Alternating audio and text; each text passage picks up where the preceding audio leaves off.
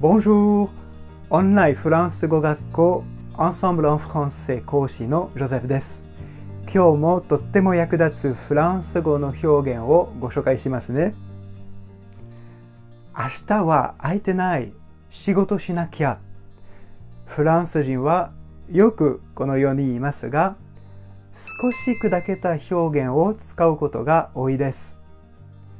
どのようにフランス語では言うのでしょうか？そうですね。Je suis pas dispo demain. Je dois bosser. Je suis pas dispo demain. Je dois bosser.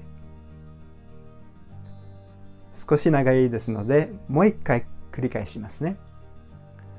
Je suis pas dispo demain. Je dois bosser. Je suis pas dispo demain.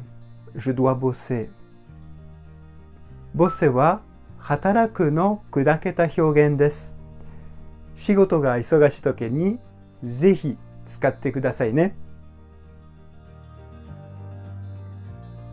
さて、もっとフランス語を勉強したいという方は、ぜひ、アンサンブルのレッスンでお待ちしています。